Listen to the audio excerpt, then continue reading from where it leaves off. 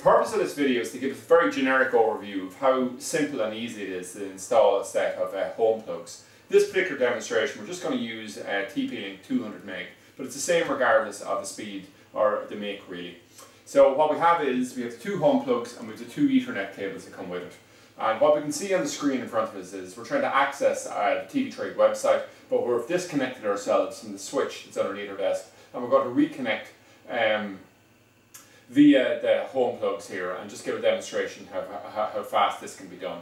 Um, so in terms of the switch we're using, it's something similar to this. So just connected from uh, the router and it's just creating a little office network here, okay? So what, what I have done already is I've run the yellow cable here and it's coming directly from our PC and I have the grey cable here and it's coming directly from the switch that's underneath my desk.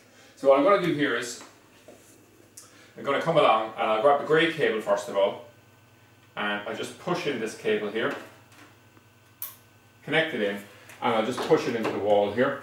So the first thing we do is we see the green light comes on, to indicate it's got power, and then the yellow cable comes on, or the bottom uh, light comes on to say it's on the network, and then the middle cable is trying to indicate if we have a connection to another home plug. And initially it's there, but in a moment now to realise that there's nothing else on the network.